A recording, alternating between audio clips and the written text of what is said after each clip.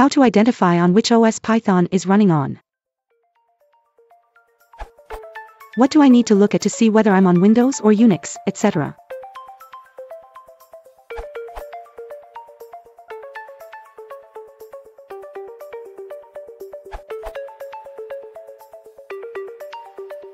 The output of platform.system is as follows. Linux, Linux. Mac, Darwin. Windows, Windows. C. Platform, access to underlying platforms identifying data.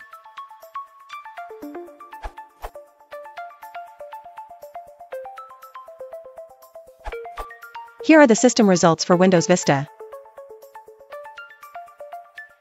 And for Windows 10.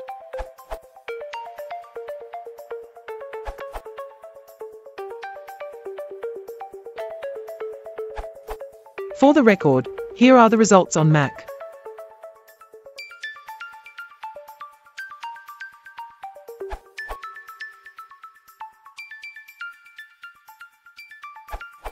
Short story. Use platform.system. It returns Windows, Linux or Darwin for OS X. Long story. There are three ways to get the OS in Python, each with its own pro and cons. Method 1.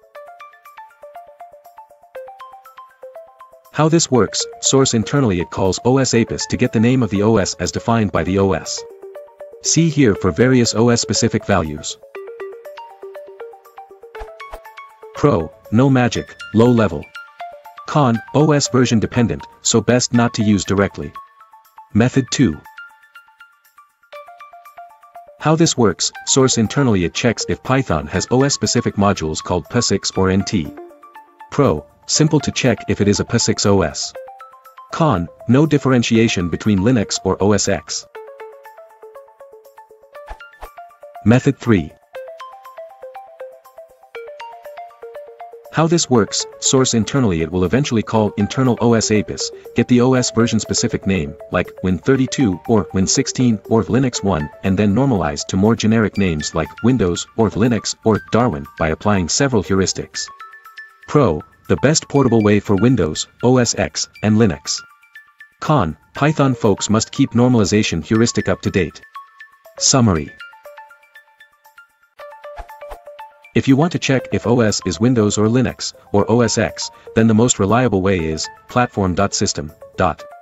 If you want to make OS-specific calls, but via built-in Python modules POSIX or NT, then use os.name.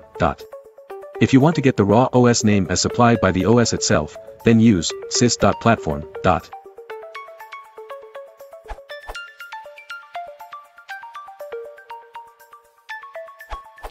Sample code to differentiate operating systems using Python.